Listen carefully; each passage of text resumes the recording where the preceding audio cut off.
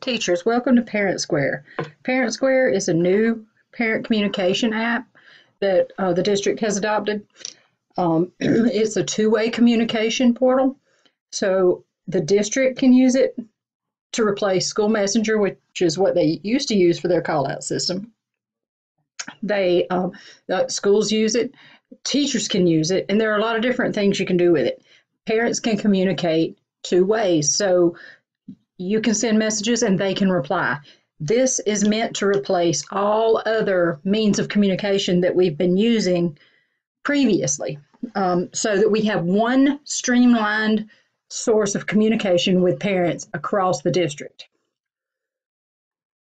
That means no more remind, no more Class Dojo for communication purposes. If you're still using Class Dojo for classroom management, that's fine but your primary source of communication or primary means of communication is going to be through Parent Square.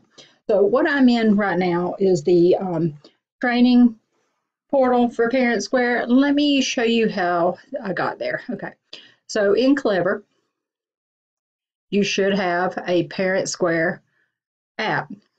Okay, once you go, once you click on that, um, it should take you to either if you have it'll either take you on into Parent Square, or if you have not yet created or registered your account, then it will prompt you to do so. Uh, everyone should have gotten an invitation to register their account. If you have not done that, then we need to do that before we get started with this training.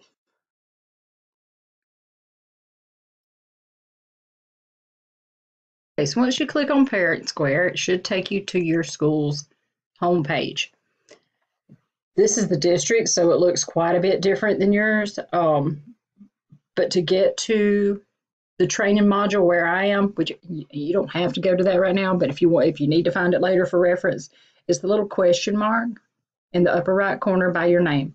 Click on that and go to Help Pages.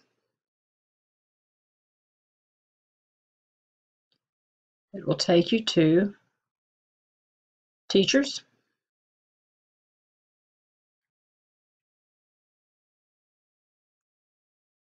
And there's a series of um, training lessons there. Or if you go back and click on classes and training, this is the more in-depth one that I'm going to do now.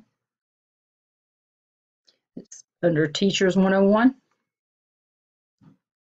There are live webinars that you can watch or pre-recorded webinars you can sign up for. And you can do that too. That's fine. But I'm going to walk you through this the training course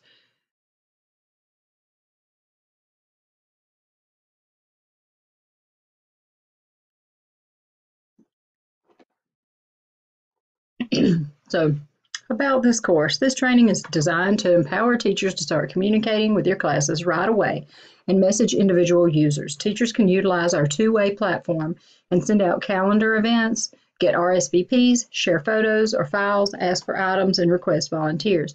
Parent Square helps you get the help you need throughout the school year. You'll learn to post information to your classes, direct messages to individual users, see class rosters, class calendars, photos, files, links on parent on the Parent Square portal and app and we'll look at the app view for teachers. Now I do want to say right now the information that's in Parent Square is not up to date. It's last year's student data. So don't use Parent Square yet. Once the student schedules are updated in Focus, then Parent Square will sync with Clever and it'll update, update all student and teacher data information.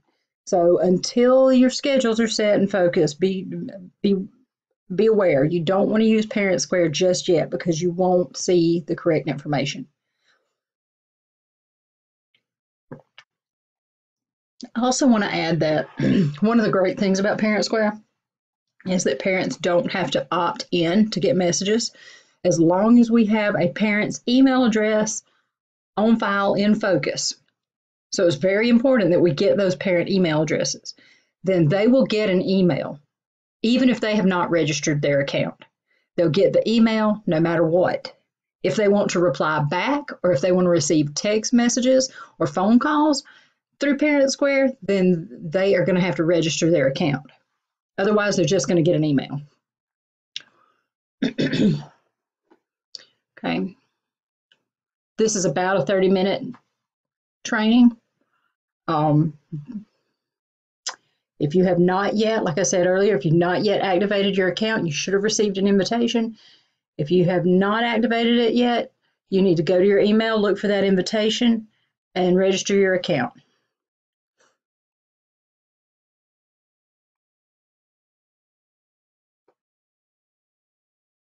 We'll look at sample posts. We'll, you know, I'll, I'll walk you through this.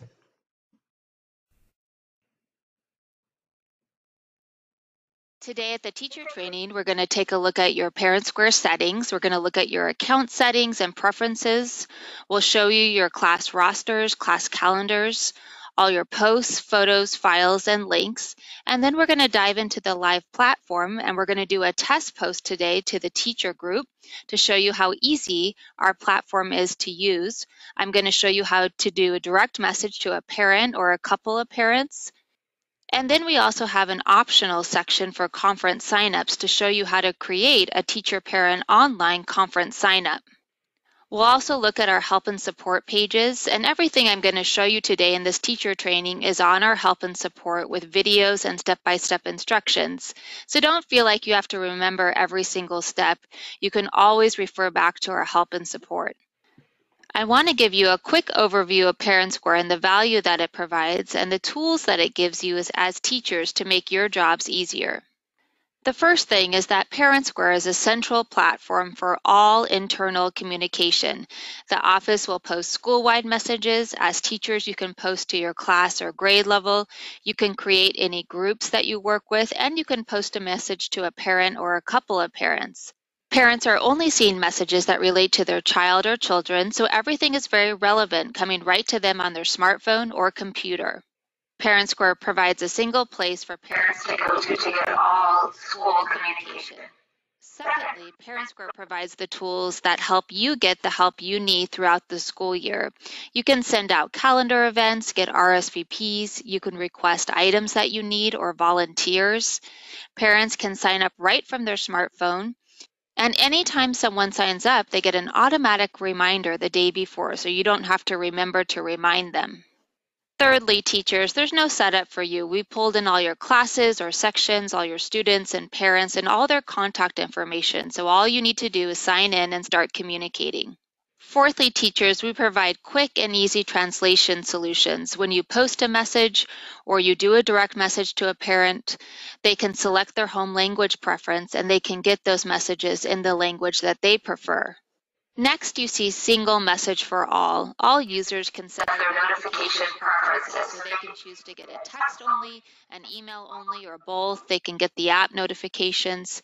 So when you post a message, it goes out to parents in the method that they prefer, and you don't have to keep track of cell phone numbers and emails.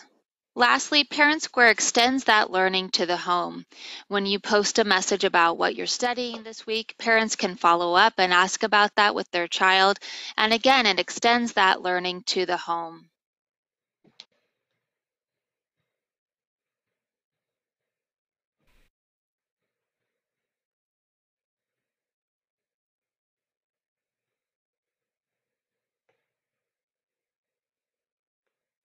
Now I want to switch and log into the live Parent Square portal.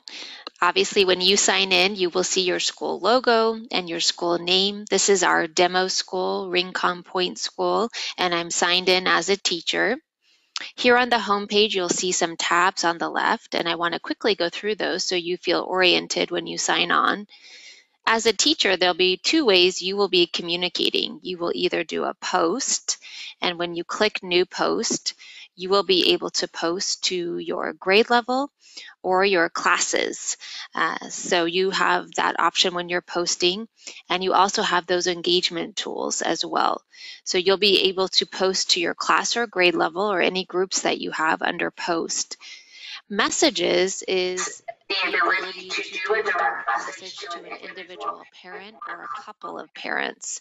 So when I click on messages, I did want to note that if you click new message here, you can go through and select the parents in your class. You can just click any parents that you want to send a message to. So you can select private or group message and all the history of your private communications will be here under messages. As teachers, you will have your own class or section directories. You'll have your own class calendar, photos, files, and links. So I'll show you where that is in just a second here. And then under that, you see participation. Uh, each school can set up their own group and you can see all the groups available here and you can create any group uh, if you do have a group of students that you work with that's separate from your class or grade. Parents can sign up and RSVP. You can do a poll where you send out a question and parents vote and you can get quick input on that. The school can do a fundraiser and parents can enter in volunteer hours. So I did want to just orient you when you get here to the homepage. Now teachers, I'd like for you to click on your name in the top right corner and click My Account. This is your profile page. You can see your account information, your classes, all the posts that you've created, any scheduled or saved drafts, signups, groups, all of that can be seen under your account here. Also, every user can see their notification setting and language setting. If you click on change this under notification setting, you can see that every user can decide if they want email, text, or app notification, or a combination of any of that. They can also get an instant message or a digest email. If they do have an email, they can get one email at the end of the day with all the messages here. So every user can set their notification setting and their language setting. We are bringing in the home language preference if we are synced with your SIS. Um, so we do pull that in, but each user can set their language preference as well. Now I'd like for you to click the edit button here in the top right. If you click on edit, you'll see your profile. You can upload a photo. You can say a little bit about yourself, see your classes. And I want you to note this cell phone field. If it is blank, go ahead and enter in your cell phone. I promise you parents cannot see any phone numbers. But for those emergency alerts, you will need to have a cell phone listed. So if you want to pause the video, go ahead and add your cell phone, area code, no spaces or dashes. And at the bottom here, click save when you're finished. Now teachers, I'd like for you to click on the home button and I'd like for you to click on this drop down menu in the top right here. This is where you will be able to view your class or sections. If you're an elementary school teacher, you'll see your class. If you're in the upper grades, you'll see your sections here. So take a moment and identify your class in this drop-down menu.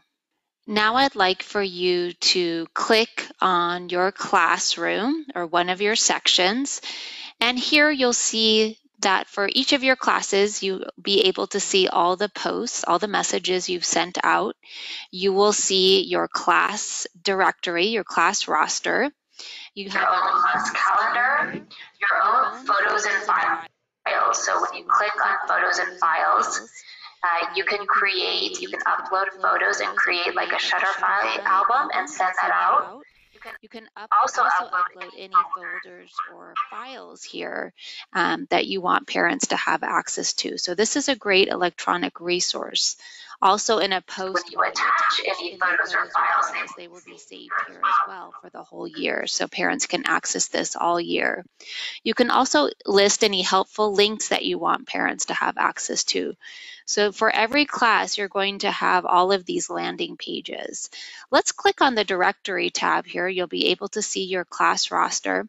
And I wanted you to note that if you click on this manage button that has a screwdriver next to it, go ahead and click on Manage here. This is where you can see a more detailed class roster here. You can see all the parent uh, email and cell phone numbers here. On this page, you are also able to click Add User.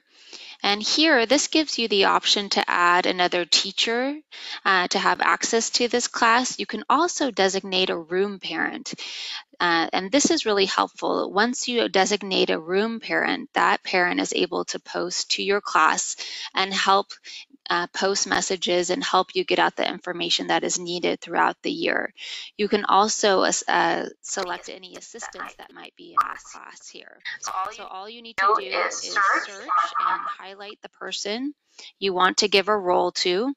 Uh, if you're a, they're another teacher, you can add them. If they're a room parent, you'll select room parent and you'll click add user. So I wanted to make you sure you knew of that option, add user. Let's go up and click the home button. So teachers, I did just want to note that in this drop-down menu, this is where you can find your class or sections.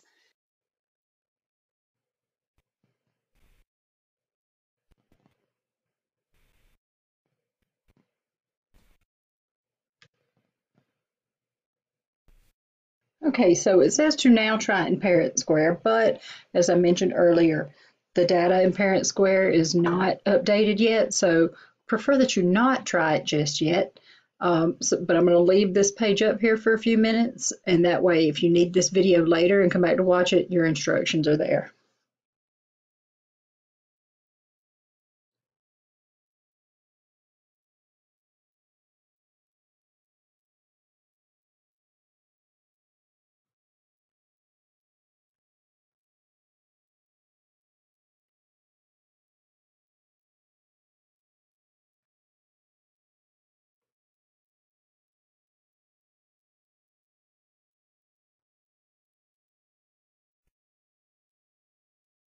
Teachers, we're going to dive into the Parent Square portal and we're all going to do a test post together.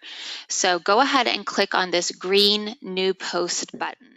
Here on the post page, you'll see a to section. Go ahead and click on the box under to and a drop down menu pops up. Here you can see the grade level that you work with and your class or classes or sections here. Now go ahead and type out the word teacher and you're going to see your teacher group here. Today, I want to be very clear that we're not going to post to our class or grades because it will go to parents. So right now we're going to do a test post and you're going to see your teacher group here. So everyone go ahead and select the teacher group in the to section. Under the subject section, you'll enter in the subject of your message, and under description, you will type out your full message. This is the message that will go out to your class or grade level. I did want to show you that you do have these formatting tools here. So you can change the font size, the color of your font. You can embed any image that you have on your computer or your Google Drive. So you can select that image that you have downloaded and you can enter it into your message here and kind of spice it up. So this is a field trip to the Science Center. Now I want to align it and I can also resize it here. So I'm going to go ahead and enter in that image. You can also insert links here. So once you have your subject and your message, if you did want to translate this message, what you would do is you would type out everything in English, and then you can click this Translate Now button. So when I click the green Translate Now button, what's nice is you'll see the preferred language that your school has chosen will show up here and you can edit this translation, but it's nice to have a base to work from. So you can edit any of this translation and you'll see that you have English and, uh, and Spanish or your other preferred language for your school. On the right, you'll see notification options. So if there is something urgent that you need to get out right away, you'll click send instantly and that will override the digest setting. The drop-down arrow here next to Post Now allows you to preview your message. I highly recommend that you preview your message before it goes out. It allows you to schedule a message if you want it to go out on a certain date or time. You can also uh, save a draft if you want to work on it later, but when you're ready to send out your message, you're going to click Post Now. And then here you'll see all the notifications that will go out and you'll click Post Now again. On the left, you will see post add-ons. So when you click calendar entry, what's nice is that the calendar pops up here. You can put in the date of the field trip. You can put in uh, the beginning time and I can add an ending time uh, or you don't need to have that. So I can put in the, the ending time here. And when you click on AM, PM, if you click the P, it'll change to PM here. Also, uh, once you enter in the date and time, if you click on repeat, you can add in any repeating calendar events that happen weekly or monthly or daily. You can also set a reminder to go out one, two, or three days before your event, and you can request RSVPs if you need that. So again, if you use Evite or Sign Up Genius or Shutterfly, this all replaces that and streamlines it here into this one platform. So again, if you're talking about an event that has a specific date, you're going to want to enter in your calendar entry as well. And whatever you have in the to section, if you have your grade level or your class or classes selected, that's where that calendar event is going to go to. So whatever is in the to section is where that calendar event will appear. Next, you can attach any photos or files that you want. When you click attach photos or files, you can choose those files from your computer or Google Drive. You can select them or select multiple files here and you can uh, attach them here to your post if you would like to. You'll see those file names here. And just like an email, parents are able to read those attachments that you send. You can also, if your school has enabled this function, you can add a permission slip or a form. This is an online permission slip that parents can electronically sign. Um, and we do have a whole help page section and video for that if you are interested in that. Then you can also ask for any items that you need. So I requested some granola bars here and some water bottles and the quantity that I need. Parents can sign up to bring these on the field trip and you can request volunteers. So here I'm going to request chaperones to come on this field trip. I'll put in the time and how many chaperones I need. You can continue to add tasks and dates that you need or repeating volunteer signups. Um, so that is an option, especially for a field trip. Usually you'll, you'll be requesting chaperones or drivers. Uh, you can also, if your school has enabled payments, you can request a payment for anything that is needed if that your event needs that. So these are the post add-on options that you have when you're creating a post and you can select any or all of them when you're doing your message. Here on the home page, you can see parents can sync this to their calendar. They can sign up to help with any of the volunteer requests that you make. So when they click the green sign up button, they can write a short note. They can say how many spots they want to sign up for. And when they click save, their name will appear here. What's nice is that for any sign up, you can add someone manually. If you click add someone here, you can highlight their name and add them to any sign up. And anytime someone is signed up, they will automatically get a reminder the day before. Uh, so you don't have to remember to remind them. You can remove anyone from a sign up and you can print your signups. Parents can appreciate any post and under comment, they can ask a follow-up question and parents cannot see any of these comments. So only you will see this comments uh, and you can reply to their, their questions if they do have any further questions here. Here, teachers, I want you to note that when you do post a message here on the home page, you'll see this little gear icon next to your message only. So if you click on this gear icon, this allows you to edit anything. You can delete this message. You can send an update if you left out anything. So you don't need to create a post. You would send an update if you do need to send out any additional information. You can turn off comments if you want. You can pin this post or get a link for your post. And this is where you can message volunteers. So you can send out last minute reminders or thank yous to the volunteers who did sign up. And this is what we talked about, those delivery statistics. This is where you can click and see if there are any red circles. You can see that under email report, and if there was a text report, you can see if there's any emails or cell phone numbers that need to be updated in your SIS. Or if your school manually uploads data, you can change their information on ParentSquare and update their email or cell phone number. Teachers, I did want to show you the app view in case you are doing a post or message from the app. You'll see this plus sign in the top right corner and you can select post, event, or message. If you're doing a post, you'll see the to section where you can select your grade or class. You'll write your subject and your message. What's nice about posting from the app is you can grab photos right off your phone if you click this little camera icon. So if you're out on a field trip, you can share photos uh, when you're out and about. You can also, uh, you'll see all the app options. And what's really nice for parents, again, when they are on the app, they can see all the messages, they can sign up, they can appreciate, they can ask a follow-up comment, they can see all the events, sign-ups, photos, and files. Uh, so I did want to just show you the app view. If you did want to do a post or a direct message or create an event, you can do that right from the app.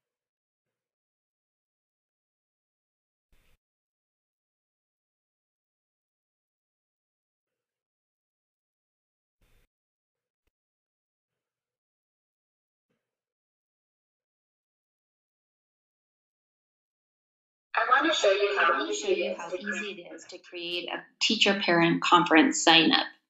The first thing that you'll do is click on add-ons. And here on the left, you'll see conference signups.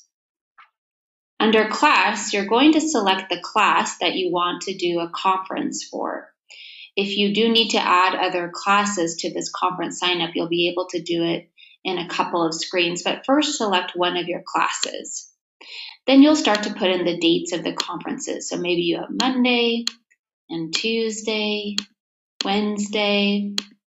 So you can continue to put in the dates, you can put in the start time and the ending time. And maybe conferences, you'll put in the slot duration. So maybe they're 20 minutes. And I like to have a little buffer there. So I put in a five minute break. If you do want to hide the names of parents who sign up for a conference time, you can click this box. Then you're going to click next.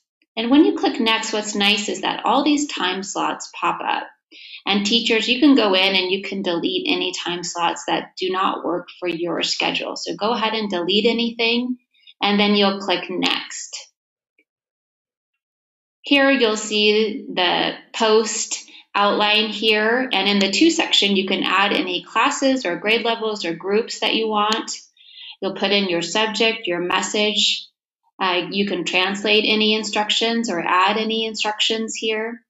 And down here, you can edit any of these titles. You can add or remove any slots. You can manually change any times. And when you're ready, you're going to click Post Now. Here you'll see all the time slots and again parents can choose a time slot that is open and they can see what's filled. So they will sign up for a time slot. You can also add someone manually to any time slot. If there's a parent that needs a certain time slot, you can highlight and add them there. Anyone that sign up for these conference signups will be automatically reminded, so you don't have to remember to remind them. You can print your conference signups uh, and you can send a message to all of your signups as well here. So as you can see, we're trying to get those conference signups off your front door on paper and into parents right on their smartphone. They can sign up for these conference signups. The other nice thing is that the front office can look at your conference signups and see who's coming in each day as well. So that's how easy conference signups are. Again, you're going to click on add-ons and conference signups and you can start creating your conference signups when that time comes around.